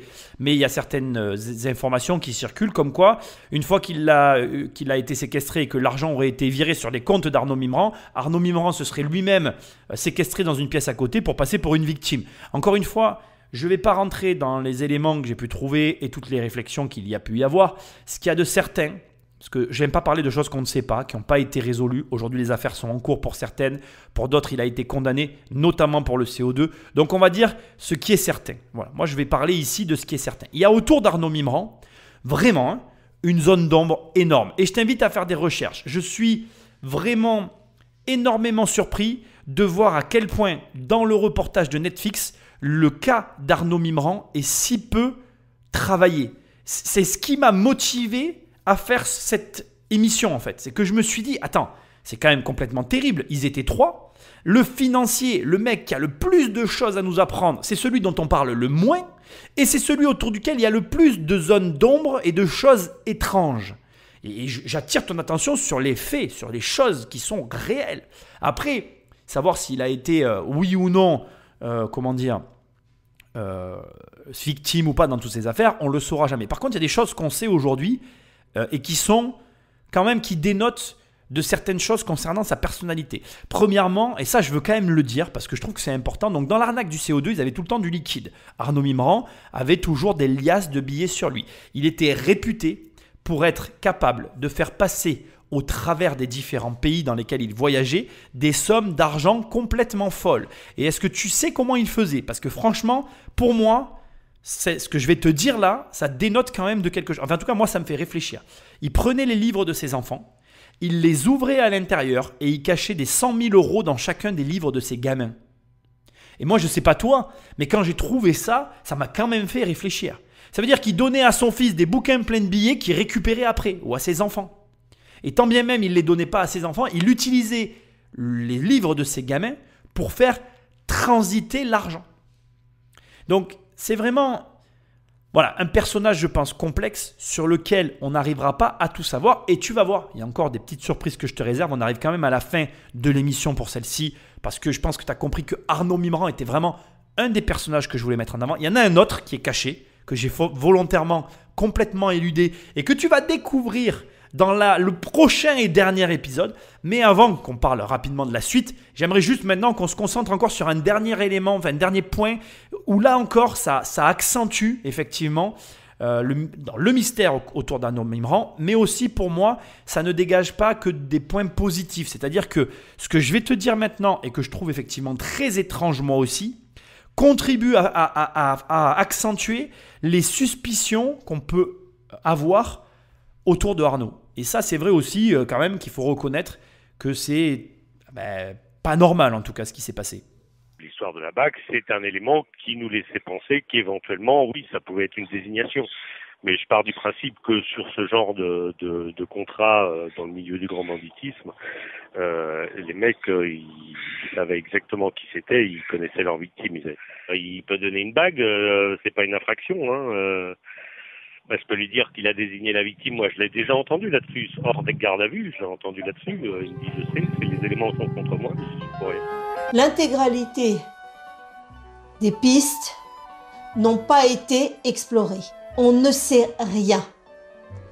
J'ai fait des demandes depuis de nombreuses années d'entendre des témoins en Israël qui, selon la partie civile, sont des témoins clés et que ces personnes détiennent de précieuses informations. Maintenant, que cela bloque du côté français ou du côté israélien, m'importe peu. Ce que je constate, c'est que ces demandes n'ont pas abouti. Ça fait presque sept ans que l'instruction est ouverte sur Souyed. Il n'y avait rien dans le dossier euh, il y a longtemps que ça aurait été clôturé. Le problème, c'est qu'on n'a aucun élément matériel sur l'affaire, sur la scène de crime. Donc c'est très compliqué, surtout avec euh, le type d'individu qu'on est amené à entendre, euh, qui mentent comme ils respirent. Et puis dès qu'ils sentent que c'est trop chaud, ils partent justement en Israël où ils sont tous planqués. Donc euh, c'est vrai que c'est pas un dossier facile. Et six ans après les faits, six ans après que un ou plusieurs commandos de tueurs aient abattu des gens en pleine rue, à Paris, euh, dans les beaux quartiers, il n'y a même pas d'inculpation dans ces dossiers. La justice française, les fonctionnaires de police ont considéré qu'il s'agissait de règlement de compte entre des voyous. C'est toute la même crapulerie. Hein. Euh, Cyril Mouly, c'est un escroc. Euh, Souillette, c'est un escroc. Mouly, c'est un escroc. Ils sont tous, ce sont tous des escrocs. Donc euh, ils ont généré du pognon, ça a fait des envieux, ils se sont fait buter, euh, voilà. Enfin, c'est dans le, c'est dans l'ordre des choses. Hein. Et ça continuera. Ils retrouveront une autre escroquerie. euh, c'est, c'est dans les gènes. Hein. Et je pense que la justice française n'avait pas à distinguer entre les assassinats, entre des personnes qu'ils considéraient comme des voyous, appartenant à la mafia juive, parce qu'il s'agit de ça, et d'autres affaires où on met tout pour essayer de trouver la vérité. Tu vois où je t'emmène. Et je pense qu'à ce stade, c'est aussi ce qui me dérange dans le reportage Netflix, c'est aussi ce qui me dérange à tous les niveaux dans cette histoire, c'est que tout ce qui concerne Arnaud Mimran semble être mis de côté. Et alors, c'est la sensation que j'ai eue en regardant un reportage. Je me suis dit, c'est bizarre, pourquoi on ne parle pas de ce mec alors que c'est lui qui amène l'argent, alors que c'est lui qui a l'air d'avoir quand même un peu plus de maîtrise que les autres, bien que, en faisant mes recherches, j'ai été très surpris de la, du niveau de maîtrise de Sami Souyed, qui, à mon humble avis, avait un niveau d'expertise assez élevé, notamment dans le décaissage, comme j'ai pu l'expliquer. Mais vraiment, je reste quasiment certain que Arnaud Mimran, avec ses connaissances financières, a lui aussi apporté de l'ingénierie à ce niveau-là, qui a été utile, notamment dans euh, la, récupération de l'argent du CO2. Et euh, d'autant plus que, comme ça a été euh, sous-entendu ici, donc d'un côté, on a au niveau juridique finalement pas tant que ça de recherches qui ont pu être faites parce que bon ben on a pour diverses raisons la sensation qu'on est face à un règlement de compte, qu'on est face à une situation euh, j'ai envie de dire un petit peu euh, euh, de, voyous qui se tirent dessus quoi, c'est ce qu'on ressent, autant de morts autour d'une même affaire. On va avoir l'occasion de reparler de ça d'ailleurs, le, le fait que tout soit centralisé autour du CO2, mais surtout on a la sensation, comme je l'ai laissé dans ce passage, que finalement, finalement, et c'est mon opinion, il y a de part et d'autre, autant en Israël qu'en France, des niveaux qui ont été touchés bien supérieurs à ceux que l'on peut imaginer à la première lecture de cette affaire. Alors, je t'invite à regarder aussi le film Carbone, où là, pour le coup, même si dans l'histoire, on va pas reconnaître les personnages, parce que je pense que Olivier Le Marchal a réellement créé pour partie une histoire, il a su euh, interpréter à sa façon, à mon humble avis, une partie du message que moi aussi j'essaie de te délivrer ici dans mon analyse, qui est que finalement l'argent, qui est le centre de tous les problèmes dans cette affaire, a généré des meurtres tout autour de lui. Et effectivement, ça va éclabousser même la police, puisqu'il y a quelque chose qu'on dit dans Netflix, qu'on dit aussi dans TPMP, et qui a été dit plus ou moins quand on fait des recherches dans cette affaire, c'est que quand ils faisaient des grandes soirées, quand ils invitaient tout le monde à la bar mitzvah, quand il y avait des, des concerts privés, finalement, Au milieu des invités, il y avait la police, il y avait des gens qui connaissaient pas. C'était le grand bordel, quoi, en fait. Est-ce que réellement, est-ce que tu crois qu'à ce genre de soirée, tu ne connais pas les gens qui sont là? Est-ce que tu crois que quand Marco Mouli dit dans Netflix Ouais, non, mais il y avait aussi des flics qui venaient écouter euh, Puff Daddy, est-ce que tu crois que c'est un hasard? Je ne sais pas. Je trouve ça drôle. Je vois ça un peu comme et les gars, j'en parle sur Netflix, faites gaffe que des noms ne fuitent pas. Attention, hein, je ne veux pas tomber dans le délire du mec qui s'invente des histoires. Je ne sais pas ce que je suis en train de dire. Mais je trouve que tout ça est très étrange. Et c'est d'autant plus étrange que, comme tu vas le voir, on arrive à la fin de l'analyse de l'affaire du CO2, comme les derniers extraits que je t'ai choisis. Quand tu as autant d'argent, quand tu as autant d'argent que 100 ou 200 000 euros à dépenser tous les jours, tu as les moyens de te payer la protection que tu veux. Tu as les moyens d'aller chercher très haut, très loin des ressources et surtout des appuis qu'on ne soupçonne pas. Et tu vas voir qu'Arnaud Mimran, ça va au-delà de ce que tu peux croire. Vraiment. Avant qu'on aille vraiment dans l'autre galaxie sur la fin de l'émission, écoute ce que je vais te mettre maintenant comme passage qui, à mon sens, relate exactement ce que je suis en train d'essayer de te dire. Quand tu as de l'argent, tu as largement les moyens de te protéger et pas de te protéger avec les gardes du corps du coin euh, du bas de la rue. Non, non. De te protéger avec un service plus, plus, plus assuré par notre propre police. À partir du moment où vous avez autant d'argent à disposition, vous pouvez l'utiliser pour vous-même et vous pouvez l'utiliser pour vous protéger. Ce serait logique et je pense que ça s'est produit. On va trouver des écoutes téléphoniques entre euh, les voyous et les policiers qui concernent l'assassinat de Sami Souyed ou les autres assassinats.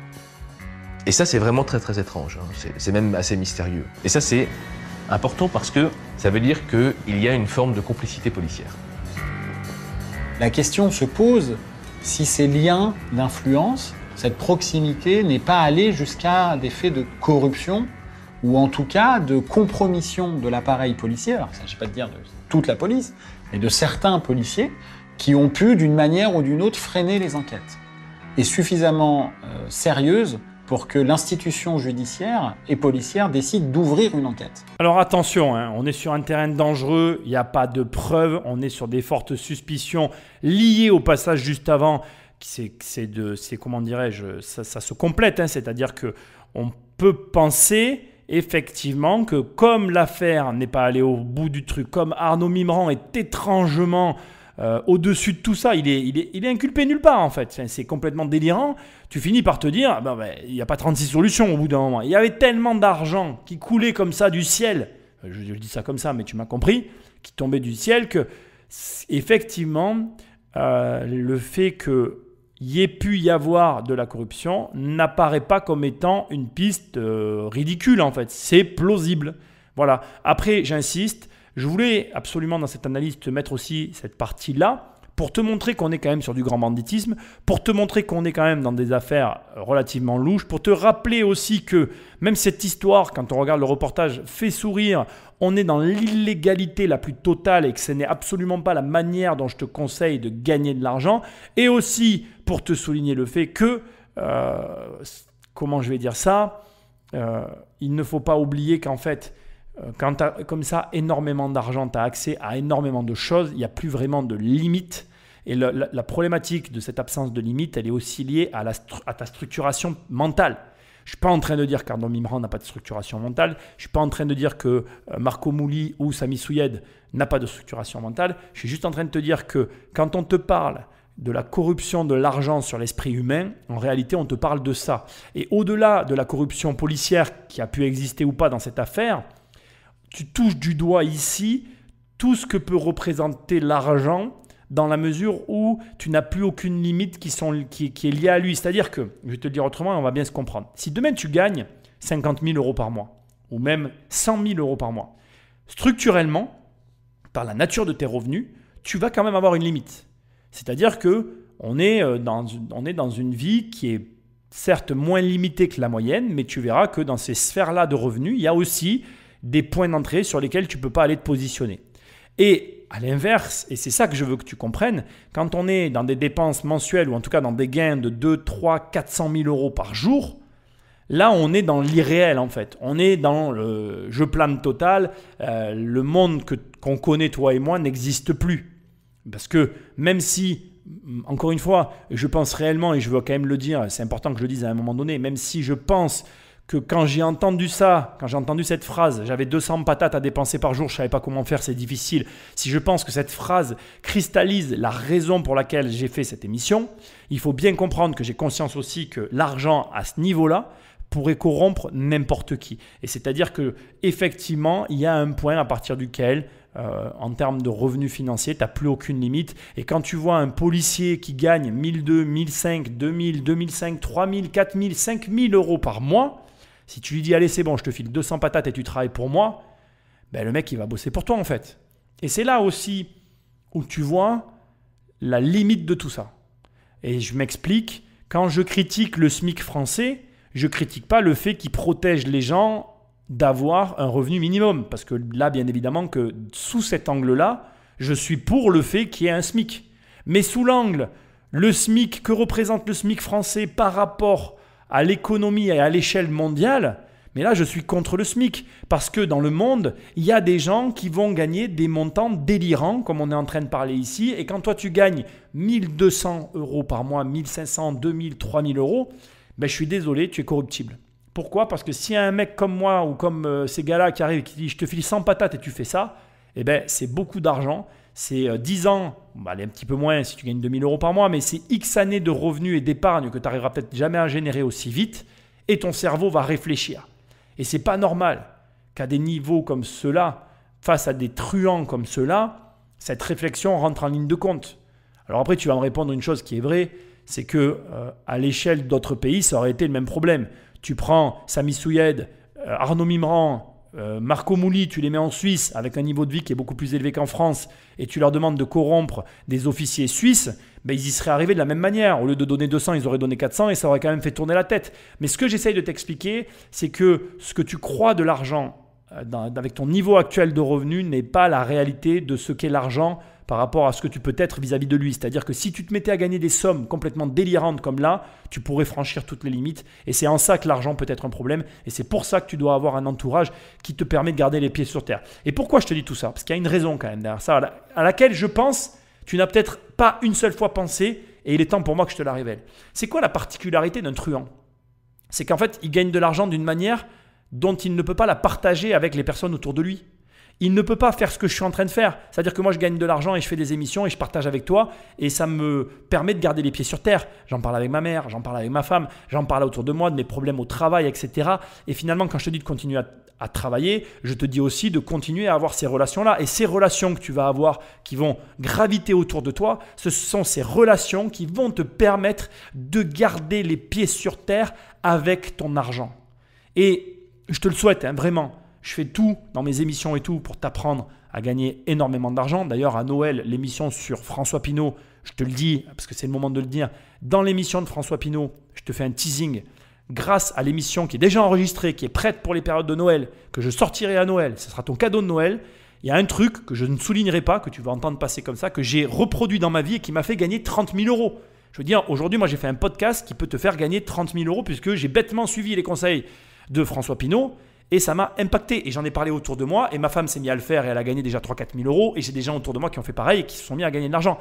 Et du coup, là où je t'emmène, c'est quoi? C'est que le partage, c'est la clé de la sénitude. Mais quand tu agis dans l'ombre, quand tu agis dans euh, la, la, la, criminalité, tu ne peux pas partager. Tu te déconnectes de la réalité. Tu pars dans tes délires. Et c'est là que tu perds pied, que tu fais n'importe quoi. Donc, pour gagner beaucoup d'argent, il y a beaucoup d'ingrédients à conserver autour de soi, mais il y en a un qui est essentiel et pour lequel personne ne pourra jamais t'aider et que tu vas devoir apprendre à gérer, c'est les relations avec ton entourage.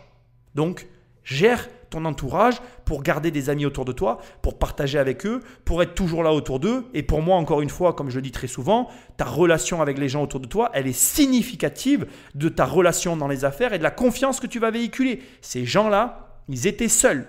Et comme ils étaient seuls, il faisait n'importe quoi. Ah oui, et tu l'as entendu, Marco Mouli, dans l'émission précédente. Il avait plein d'amis, mais ils n'étaient pas là pour lui. Il faisait 400 kilos. Tout le monde lui disait qu'il était beau, mais c'est parce que tout le monde voulait son pognon. Et tu vas voir, il y a un truc qui se passe quand tu as de l'argent qui est magique, c'est qu'il y a des gens qui popent dans ta vie, ils arrivent comme ça, parce que tu as de l'argent, et ils ont un intérêt à être là. Ils sont pas là parce que tu es sympa, ils sont pas là parce que tu es gentil, ils sont là pour ton pognon. Et être seul, ça fait que donc, un, tu fais n'importe quoi, tu n'as pas de limite et tu vas soudoyer un flic, tu vas soudoyer, etc. Et deux, tu vas t'isoler, continuer dans ces excès, déplafonner tes limites et faire de la merde. Bref, je pense que tu as compris le message. On finit avec Arnaud Mimran. Il y a un dernier élément que je voulais absolument que tu saches. Et c'est là où tu vois que Arnaud Mimran est quand même un homme très malin.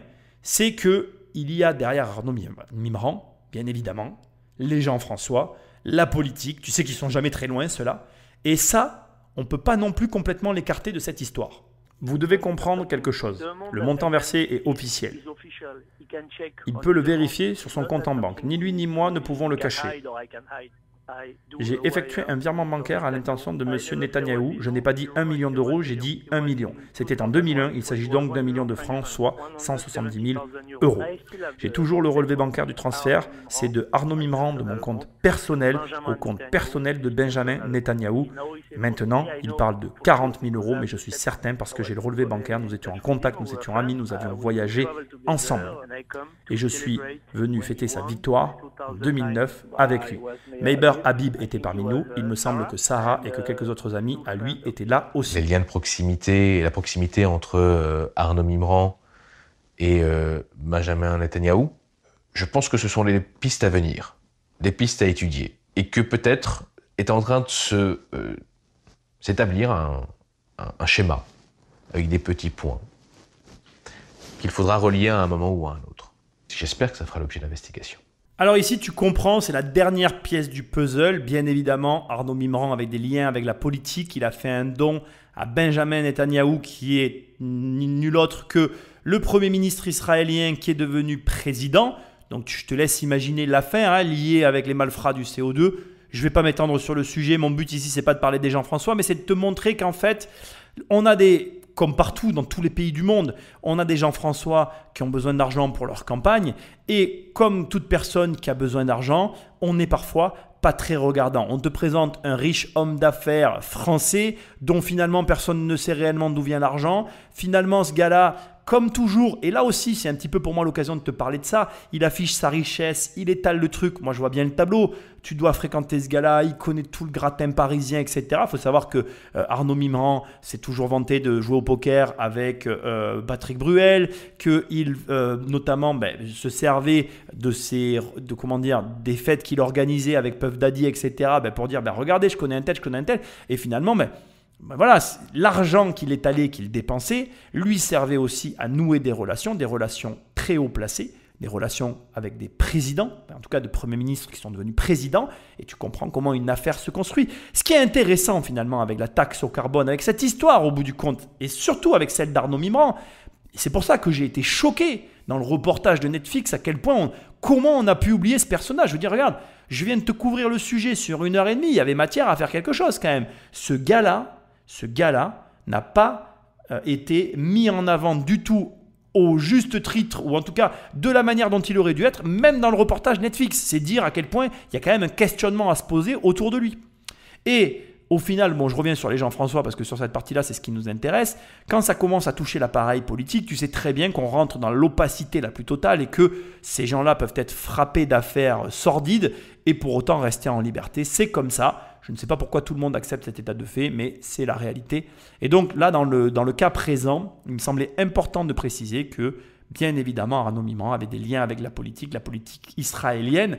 Je n'ai rien trouvé avec la politique française, en dehors de Marco Mouli et de DSK, LSK avec son fonds, etc.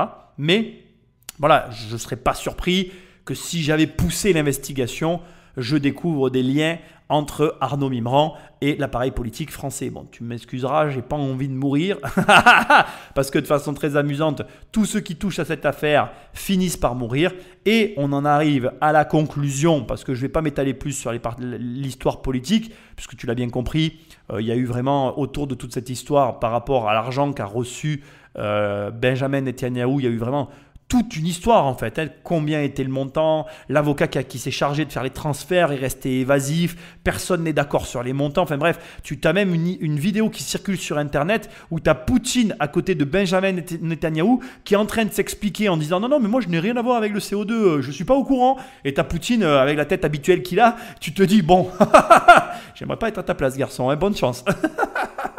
Bref, voilà, il y a un autre élément que je veux quand même te dire qui a été aussi, qui a à peine été balayé et que je veux quand même souligner ici, c'est que apparemment tous les pays de l'Union européenne étaient au courant de l'arnaque de la taxe au carbone et apparemment tout le monde en a profité. On parle quand même d'une perte globale pour l'Europe de 5 milliards 1,8 million pour la France, donc c'est nous qui avons perdu le plus d'argent. Bon, bah, feu la compétence administrative de notre pays. Je ne vous critique pas, mes amis fonctionnaires, parce que je ne pense pas que ce soit la faute des fonctionnaires en charge de faire fonctionner le système. Je pense que ce sont, encore une fois, les gens qui ont créé le système qui sont à pointer du doigt. C'est-à-dire que, comme toujours, on fait des choses super compliquées alors qu'on pourrait régler le problème à la base. Je m'adresse vraiment bien plus aux dirigeants qu'aux exécutants quand je parle comme ça, mais au lieu d'être là en mode on va faire une taxe carbone en créant une bourse pour échanger. Non, mais va voir les entreprises, euh, oblige-les à ne plus utiliser euh, certains produits chimiques, certains, interdit des produits quoi. Voilà, terminé.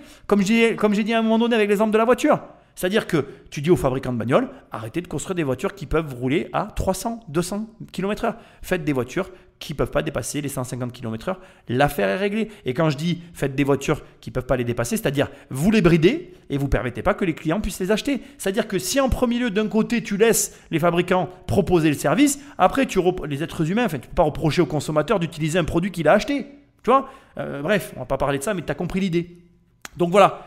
Euh, enfin, égal à eux-mêmes. Les Jean-François sont partout les mêmes dans tous les pays du monde. Euh, merci à vous euh, d'être tous aussi performants les uns que les autres. Pour terminer, euh, on va quand même le préciser, mais je pense que tu l'as compris, c'est pas moi qui vais le dire, ça va être la voix off. Effectivement, le point d'orgue de tous ces meurtres, de toutes ces histoires complètement rocambolesques, ben bien évidemment, c'est le CO2. Et le CO2 est Arnaud Mimran. C'est-à-dire qu'aujourd'hui, il y a quand même deux mystères qui persistent. Le premier, c'est où est l'argent hein Il y a 5 milliards qui se sont volatilisés, 1,8 milliard pour la, France, on a récupéré 3 à 400 millions. Et, et le reste, on ne sait pas où il est. Soi-disant quand tu écoutes tous les mecs qui ont pris ce fric, ils sont tous fauchés. Et il y a un deuxième mystère, c'est Arnaud Mimran. Tout le monde meurt autour de lui, sauf lui.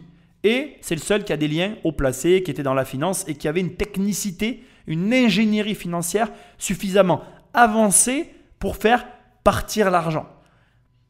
Je dis ça, je dis rien. Je voulais rendre à César ce qui était à César. Remettre Arnaud Mimran là où est sa place, c'est-à-dire le plus gros investisseur de cette histoire, celui qui a pris le plus de risques, celui qui a la meilleure intelligence financière et celui qui évite les balles. J'ai jamais été inquiété. Je ne suis absolument pas inquiet à titre personnel et je n'ai pas été inquiété. Après, les gens, les rumeurs, je suis pas là pour commenter. Bien qu'il ait été d'un côté condamné dans l'affaire du CO2, son implication ne fait pas de doute aujourd'hui pour la justice, bien qu'il soit mis en examen dans une affaire euh, d'extorsion, euh, euh, d'enlèvement et de séquestration d'un financier suisse, il n'est mis en cause formellement par la justice et la police dans aucune affaire d'assassinat, alors que le soupçon tourne autour de lui d'ailleurs à tel point qu'il doit s'en défendre, lui, dans des, notamment dans des interviews euh, euh, dans la presse ou dans, à la télé euh, française. Si je tue quelqu'un et qu'on m'accuse, je peux pas tuer une deuxième personne autour de moi, ni une troisième. Je me dis là, ça va, être, ça va devenir flagrant. C'est tellement. Et c'est vrai que je me suis, même moi, je me pose des questions. Je me dis, c'est pas possible. Et alors, il faut être fou. Les meurtres, euh, je, je- on peut m'en mettre 20, hein, c'est- facile hein, après. Qu'est-ce que j'ai à voir? Il y a euh, des liens entre ces affaires parce que on a un contexte, une atmosphère liée au CO2. La menace d'être assassiné dans cette affaire, elle est permanente pour tout le monde. Je voulais que tu entendes ça. Je voulais finir là-dessus. Je voulais que tu entendes Arnaud Mimran qui a dit deux choses. Premièrement, il n'est pas inquiété. Et deuxièmement, il a dit, mais je peux tuer quelqu'un. Et après, tuer une deuxième personne. Et après, une troisième personne. Mais c'est impossible en fait. Et, je voulais que tu l'entendes pourquoi Parce que c'est vrai. Si maintenant tu retournes le truc et tu réfléchis une seconde, parce que depuis tout à l'heure j'ai fait une émission à charge et j'ai horreur de ça. Et c'était vraiment important pour moi que tu entendes l'autre version, la version d'Arnaud Mimran pour finir, qui est de dire, mais attendez les gars, si j'avais tué autant de gens, si j'avais fait tout ça, vous croyez vraiment que je serais passé au travers de tout comme ça? Et c'est vrai en fait. Imagine, ça t'arrive réellement. Alors le problème, encore une fois, comme ça a été dit dans ce dernier passage de conclusion, le problème c'est le CO2 en fait. C'est l'argent qu'il y a eu de détourner. C'est une somme qui est tellement colossale que comme c'est dit, c'est que la menace de mort, elle planera toujours. Parce qu'il y a plein de questions finalement qui peuvent rester en suspens, que j'ai pas traitées, sur lesquelles on n'aura pas la réponse. D'où venaient les 10 millions de départ de Arnaud Mimran Comment il a eu cet argent? D'où sort tout cet argent? 10 millions, ça se trouve pas sous le sabot d'un cheval. Même si c'est un, trader euh, de grand talent, je veux dire, on parle quand même d'une certaine somme. Euh, tu comprends? Et en fait, tous ces éléments-là font que autour de cette affaire, il y a une partie, euh, je vais dire, de, de, de, de, côté qu'on ne pourra jamais résoudre. Il y a une partie irrésolvable, je ne sais pas si ça se dit, qui fait que ben voilà, il n'y a que ceux qui ont été impliqués qui sauront la vérité au bout du compte. Euh, en, point final de cette émission, ce que j'ai à te dire, c'est la suivante. Premièrement, tu auras quand même vu, et ça c'est quand même bien, un montage complexe en carrousel pour une fraude, certes, mais il faut comprendre, du coup, ça, il faut que toi, tu arrives à ingérer le fait que dès que tu commences à être à l'international, tu as accès à des leviers financiers et à des montages financiers auxquels tu n'auras jamais accès en restant au national. Et ça, je veux que tu le mettes dans un coin de ta tête. Ça ne veut pas dire que demain tu seras à l'international, mais ça peut peut-être t'expliquer pourquoi il y a des gens comme moi et comme d'autres qui visent après à un moment donné l'international parce qu'on veut aller chercher ces leviers, indépendamment de la fraude. De là, on parle de l'égalité. Parce que, encore une fois, et je veux me concentrer là-dessus pour finir, le, les fraudes qu'on vient de voir ici, elles sont fraudes parce que dans le système intracommunautaire, tout ce qui doit être payé n'est pas payé. Mais si dans ta chaîne de commercialisation, tout est légalisé et que tu as des marges et que tu gagnes de l'argent, je te laisse imaginer deux secondes ce que vont gagner des mecs comme Bernard Arnault ou François Pinault. Tu vois où je veux en venir? Parce que certes, maintenant, il y a l'arnaque. L'arnaque, elle a un côté un peu fantasmagorique, le côté gagner de l'argent beaucoup, euh, d'un coup, rapidement, un peu dans le style du loto, le claquer d'une façon démesurée, enfin, le délire. Mais de l'autre côté, il y a comment moi je mets ça en place. Et comment tu le mets en place? Ben, En construisant un système qui fonctionne en France et puis en allant à l'international. Et c'est comme ça que tu vas y arriver et en te disant que c'est possible. Alors certes, ça mettra peut-être plus de temps, ça te demandera plus de compétences, mais c'est possible. Enfin, je vais finir maintenant en te teasant le dernier épisode qui va être magnifique pour moi parce que je pense que j'ai réussi mon coup. Je pense que tu n'as pas du tout idée de qui je vais te parler parce que tu aurais pu croire que c'était Arnaud Mimran, mon personnage, mais non, c'est pas lui. Donc on va le découvrir dans le dernier épisode. Et donc il y a bien un personnage dans cette histoire sur lequel je n'ai absolument pas parlé ici, que j'ai même un petit peu éludé dont on va parler, et qui mérite toute ton attention. Mais alors vraiment, toute ton attention. Et tu vois, c'est là où pour moi, on touche du doigt toute la problématique de la télévision, toute la problématique générale de tout ce qui peut se faire, c'est qu'on s'intéresse toujours aux mêmes gens, alors qu'il y a des personnes qui ont une valeur incommensurable. Et dans cette histoire, dans toute cette histoire, il y a un personnage qui a une énorme valeur pour toi, mais énormissime, et dont on a énormément de choses à apprendre, et t'inquiète pas, Tonton Nico est là, on va en parler le coup d'après. Donc, prochain et dernier épisode sur le personnage qui manque. Dernier élément avant de clôturer cette émission, écoute-la bien jusqu'à la fin, je te réserve une surprise, je t'en parlerai après. Et avant que je te laisse, ben, pareil, comme d'habitude, j'ai la petite surprise, mais les petites paroles d'usage, pense à t'abonner, laisse-moi un like, des commentaires, des étoiles, tout ce que tu veux. Prends le téléphone d'un ami, abonne-toi, abonne-le sauvagement à l'émission. Euh, oui, tu peux aller sur mon site Immobilier Compagnie, tu as la formation et tu as aussi la possibilité d'avoir mon livre Devenir riche sans argent sur Amazon, sur la FNAC, etc. Et maintenant on termine et voilà ma surprise. J'ai euh, quelques vidéos de Arnaud Mimran en prison et crois-moi, on va lui laisser la parole, ça vaut le détour, il a de l'humour et dans tous les cas, il est attachant parce qu'il y a une chose qu'il a dit que j'ai pas mis mais que je veux quand même préciser, euh, c'est qu'il n'y a pas eu de sang dans cette histoire c'est une effraction en col blanc. Nos Jean-François font ça en permanence. Donc, je ne veux pas minimiser ce qu'ils ont fait, mais moi personnellement, ils ont un côté attachant et après tout, ils ont, ils ont exploité une faille du système. Bon, ça les a conduits à une série de meurtres en série euh, les uns envers les autres parce qu'il y avait trop d'argent en jeu. Comme je t'ai dit tout à l'heure, c'est un autre problème. Ça, c'est lié à ton entourage et je te laisse le, la charge de régler ce problème-là et de veiller à ce que ce problème-là soit toujours préservé dans ta vie. Mais pour autant, écoute les paroles de Radio parce que l'ami Mimran Arnaud est à Fresnes. Je lui envoie toutes mes amitiés et je te dis à très bientôt dans une prochaine émission. Salut Euh, Radio euh, bonjour. Il y a un grand homme, un grand philosophe, quelqu'un de vraiment, euh, on va dire, avec une grande expérience, une grande maturité, une grande intelligence. Et cet homme avait dit que les hommes, les hommes intelligents sont toujours dans le doute et que seuls les imbéciles sont toujours affirmatifs. Un Daïef, euh, il était affirmatif hein, quant à ma culpabilité. Donc euh, on sait dans quelle catégorie il faut le mettre celui-là. On va continuer euh, sur un petit peu de pensée philosophique. Euh, on va faire référence au Dalai, Lama, au Dalai Lama qui disait que quelle que soit votre prison, vous en avez les clés. On voit qu'il est jamais venu à Fresnes. hein. Moi, je m'étais toujours dit que si je trouve une fille qui ment plus que moi, je restais avec elle. La même Kodia, je l'ai quittée. Sinon, euh, personnellement, moi j'ai dit au juge euh, que si j'avais écouté mon père, euh, j'aurais pas fini en prison. Et le juge m'a dit Pourquoi qu'est-ce qu'il vous disait votre père? J'ai dit Bah je sais pas, je l'ai pas écouté.